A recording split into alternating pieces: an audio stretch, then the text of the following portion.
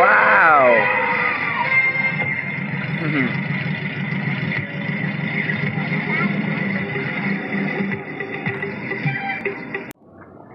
Nos conseguiste buenos asientos. Asientos excelentes. Podremos ver bien cuando los planeadores hundan el hacha en el corazón de los. Magnífico, magnífico. Ahora regresemos a casa. Y ojalá ese miserable y mugriento Lázaro no esté todavía.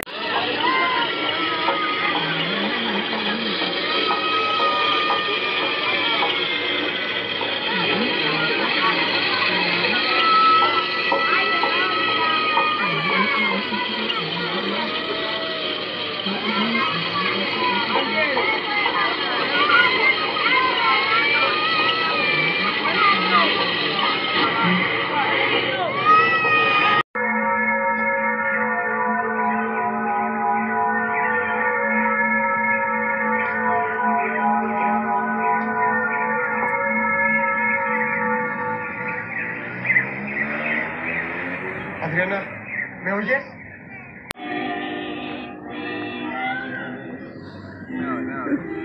dignatarios de todas aquellas tierras. Estos recibieron la invitación y acudieron a la fiesta.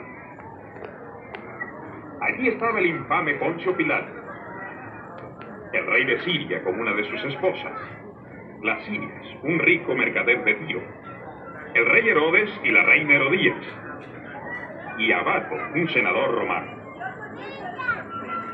No hace falta decir que Vive se sentía en la gloria rodeado de mujeres, lo cual su esposa veía con desagrado. Caifás, el sumo sacerdote, se acercó a saludar al hombre rico. Dejadnos ¿eh? Bien, quiero agradeceros la generosa donación que hicisteis al templo. La hice con gusto. La conversación entre Caifás y Vives giró principalmente en torno a Jesús.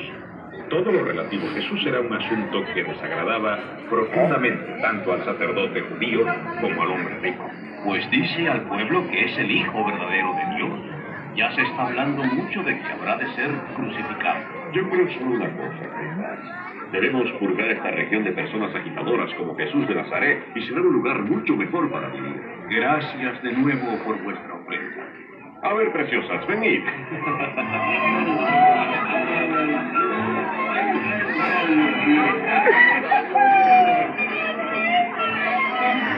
Odio a todas. ¿De verdad? ¿Qué quieres, chico? Lázaro, el mendigo, falleció. Gracias a los dioses que no lo vieron mis invitados. Le decimos a los que retiren el cadáver. Sí, vete ahora mismo.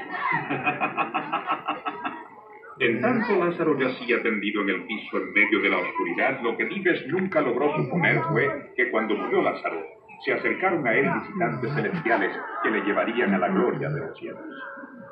Levántate, hijo mío. Ya eres libre.